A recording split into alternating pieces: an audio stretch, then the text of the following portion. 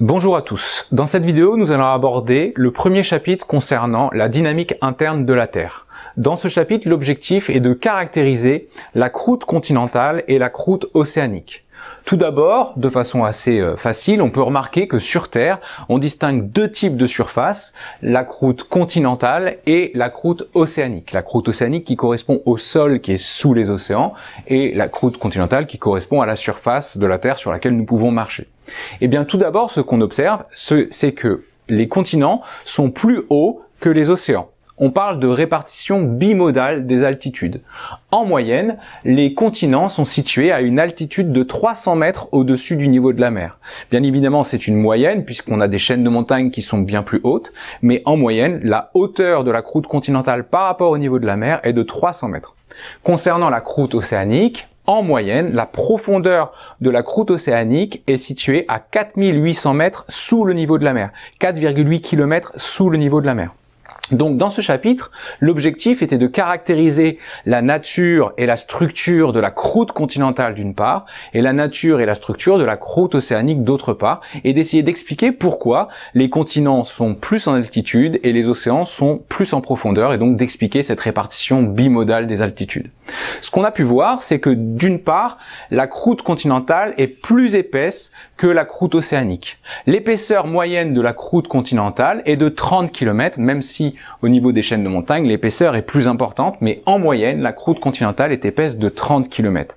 Alors que la croûte océanique est plus fine, en moyenne 7 km d'épaisseur. Donc première grande différence entre croûte océanique et croûte continentale, une croûte océanique moins épaisse, 7 km en moyenne, une, une croûte continentale plus épaisse, 30 km en moyenne.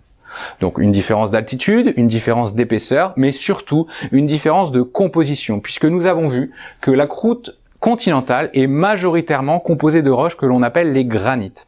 Les granites, c'était des roches qu'on a vues en travaux pratiques, qui sont des roches entièrement cristallisées, qui contiennent du quartz, du feldspath et du mica.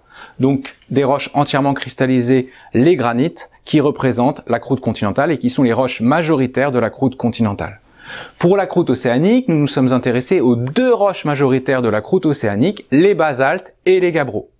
Alors, grande différence entre les basaltes et les gabbros. Les basaltes ne sont pas complètement cristallisés, voire pas cristallisés. À l'œil nu, on n'observe pas de minéraux. Ils sont constitués d'une pâte sombre, les basaltes, alors que les gabbros étaient complètement cristallisés. Donc tous les cristaux étaient jointifs et ils étaient composés essentiellement de pyroxène, les minéraux sombres, et de feldspath, les minéraux clairs. Donc, plus important à retenir, croûte continentale représentée par le granit, croûte océanique représentée par le basalte et le gabbro. Alors pourquoi elles n'ont pas les mêmes altitudes? Pourquoi la croûte continentale est au-dessus du niveau de la mer en moyenne et la croûte océanique sous le niveau de la mer?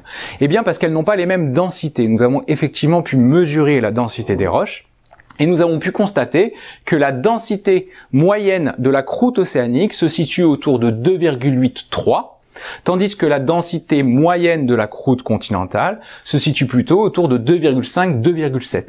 Donc on a une croûte continentale qui est moins dense et une croûte océanique qui est plus dense, et comme elle est plus dense, elle s'enfonce un peu plus en profondeur, d'où les différences d'altitude et la répartition bimodale des altitudes. Donc nous avons vu une différence d'altitude, une différence d'épaisseur, une différence de composition en, roche et une différence de densité. Cette croûte continentale et cette croûte océanique sont situées au-dessus de ce que l'on appelle le manteau et le manteau est essentiellement composé d'une roche qui s'appelle la péridotite qui est composée d'olivine et de pyroxène et on parlera plus en détail du manteau dans les prochaines vidéos. Voilà pour le bilan du chapitre. Au revoir